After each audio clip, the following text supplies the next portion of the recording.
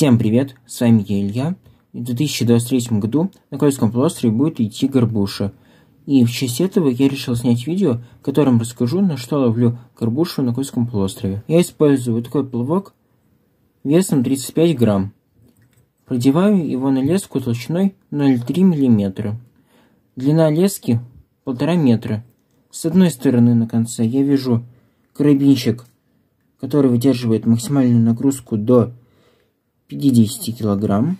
С другой стороны вяжу карабинчик, который выдерживает нагрузку 25 килограмм. На леске я одеваю маленький грузик, потом кембрик, грузик на 28 грамм и еще один кембрик. Потом одеваю с другой стороны леску, привязываю узлом восьмеркой все узлы. На конце ставлю вот такой грузик и вяжу муху на двойном крючке.